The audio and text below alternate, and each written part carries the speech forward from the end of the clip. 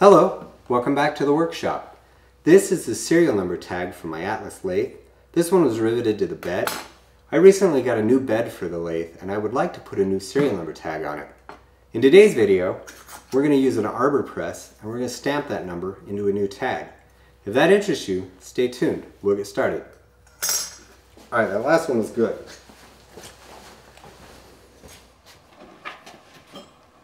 So I know what you're thinking. You're saying, Robert, why don't you just use a set of stamps and stamp them by hand? The problem with that is it's difficult by hand to get consistent even spaces and to get the numbers to look the same. Getting the spacing right by hand is difficult.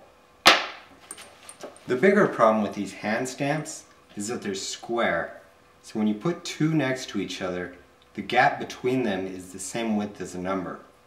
When I put together the seven numbers I need, they're too long. They go way outside the box. So instead, I bought a set of type stamps from McMaster-Carr. These are narrow, so that when they're put next to each other, the gap between the numbers is correct. In order to use an arbor press for this, we need a stamping arbor, something that'll hold the stamps this is the one I made. It turned out really nicely. Here's how I did it. I found a piece of eighth inch steel in my scrap bin. You can see this one's pretty nasty. It's been out in the weather, but I don't think it's gonna be a problem. What I wanna do is I wanna cut this so that I can make a little pocket that those stamps will fit into. So I'm thinking something like this. So I'll cut it across the top for the height and then I'll cut squares out of the corners and then I'll score it. And what that'll let me do is I'll be able to bend these over and then I can weld those. And that'll give me a strong piece that's welded, but it's really clean and square on the inside where the stamp's right.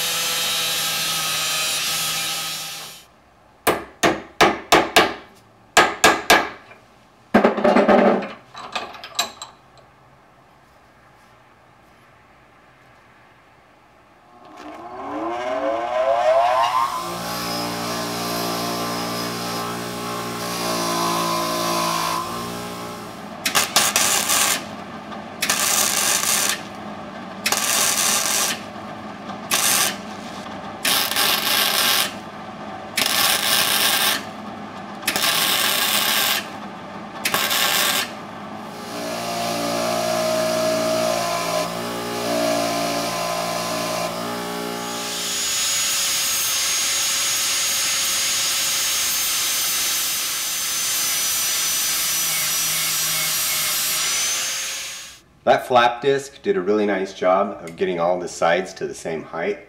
I'm going to use the mill now to get everything square.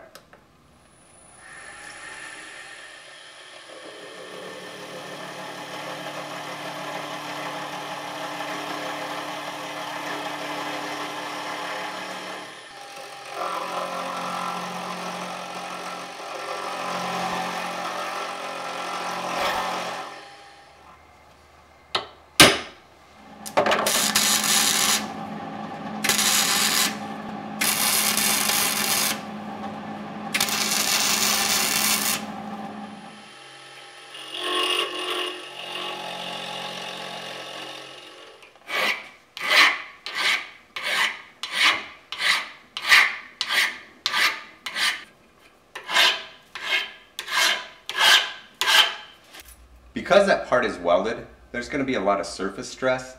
I'm going to use my needle scaler and peen it. Hopefully that will increase its toughness.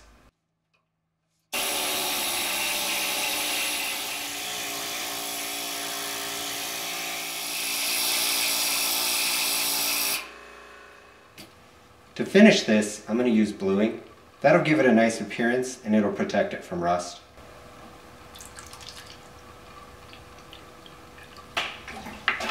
The way I'm going to do this, I'm going to start by dipping it in the acid.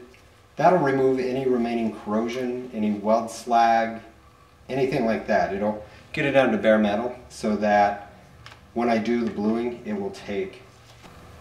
So I'm going to put it in here, just let it bubble for a few moments.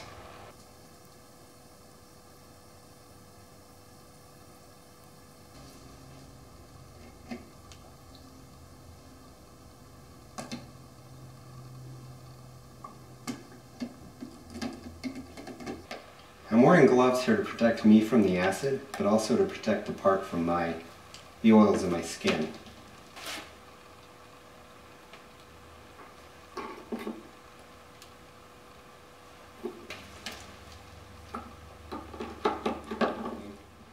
The finish is pretty good. I mean, it's not perfect, but I, I'm really happy with it. The yellow marks here are just to indicate the back. It occurs to me right now I could have just used this hole, but I didn't think about it. So here's how this goes together. I made this wide enough for eight numbers. My ID number is only seven, so I 3D printed a couple of shims. These are the same shape as the type punches. The numbers go into this tool and they line up so that this notch is even with this hole I drilled. So they go in like so.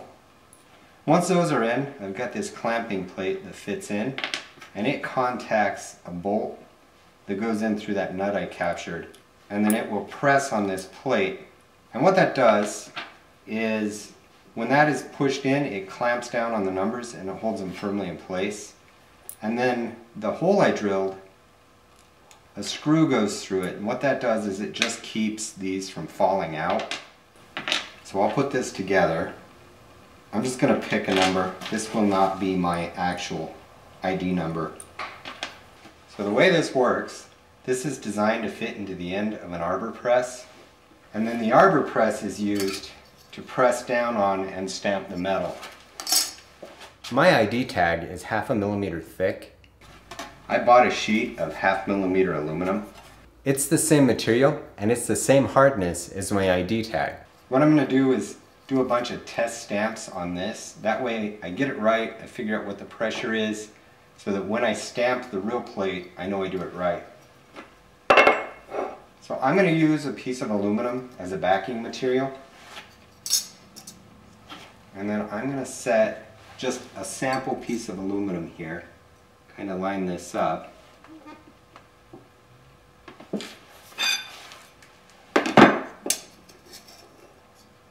So that's how that turned out. This is apparently number 1412926. I'll see if I can zoom in and give you guys a better view.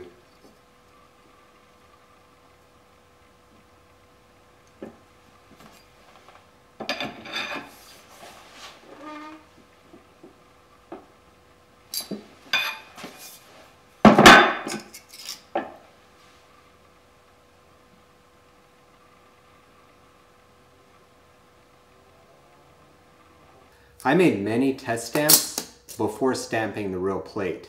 I wanted to make sure I had the pressure and the spacing right and that everything looked good. So the plate I really wanted to show you guys, the one I made the video for, I decided probably wouldn't be the best one to share. So instead, let's take a look at one of the sample stamps. It turned out really nicely.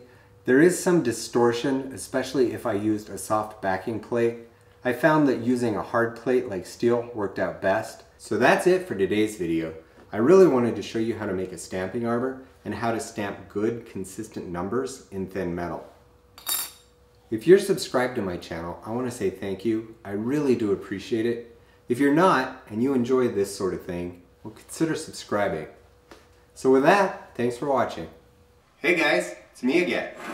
Next week's video, I'm going to rebuild a 70-year-old German motorcycle engine. This one's unique. It's got a rod-driven overhead cam. So keep an eye out.